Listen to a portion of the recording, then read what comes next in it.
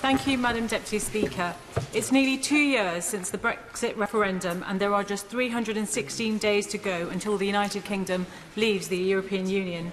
I support the opposition motion today because the infighting and indecision within the government is both holding back the Brexit negotiations and delaying crucial votes in Parliament. Yeah. Labour recognises that the only way to ensure the frictionless trade necessary to support our vital manufacturing industries is to secure a new comprehensive UK-EU e customs union. Not only is it the best way to prevent a hard border in Northern Ireland, but a customs union has, has wide support from the business community and trade unions. Yeah, yeah. There are currently 247,000 EU citizens living in the West Midlands region and 87,000 across the Greater Birmingham area. And the West Midlands 10 universities attract over 8,000 EU students each year and employ approximately 5,000 academics who are EU citizens.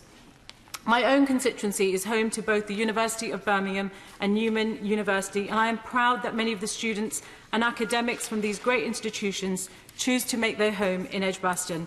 But it is business and specifically manufacturing which I wish to focus the body of my comments on today and why the release of these papers is key. The Conservative Mayor of the West Midlands said in an article this week that hardline Brexiteers risk causing the unintended destruction of thousands of jobs in the automotive industry in the region, and he was right.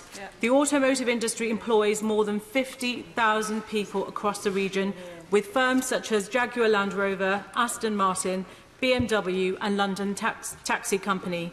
There are also numerous component companies such as GKN based in Birmingham. These companies' fortunes are inextricably linked to the ability to move goods and parts between the UK and Europe. And the Port of Dover currently handles 122 billion of the UK's trade in goods in 2.6 million freight vehicles. 99% of these freight traffic comes from the EU, and the port has estimated that given the lack of physical space, even a two-minute delay to check each vehicle would lead to 17-mile queues on either side of the channel. This is, ex is ex exactly the type of delay that would adversely affect companies in the West Midlands, whose products often require several trips across the channel before being completed. Nearly 40% of JLR's global suppliers are based in Europe, and these suppliers are crucial to the success of JLR, and without their timely and competitively priced parts, production at JLR and all other manufacturers would simply grind to a halt. Seat belts supplied by Bosch and made in Germany, plastic sealing made in the Czech Republic, wheels from Germany, brake hoses from Spain. It's, it's quite clear that the production of a modern British car relies on an interconnected web of a European autom automotive suppliers.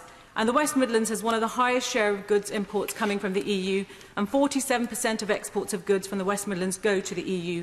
The region's higher than average reliance on the manufacturing sector and automotive manufacturing in particular make it even more reliant on trade than, other, than any other areas. And the message from business in the West Midlands is clear. We need a deal and we need a deal that works for business and Labour is clear that deal is a customs union. The West Midlands already has both higher unemployment and a higher proportion of those with low or no qualifications than the UK average, and my constituents simply cannot afford any more barriers to be put in their way when they are seeking employment, and by not entering a customs union, the government is doing just that.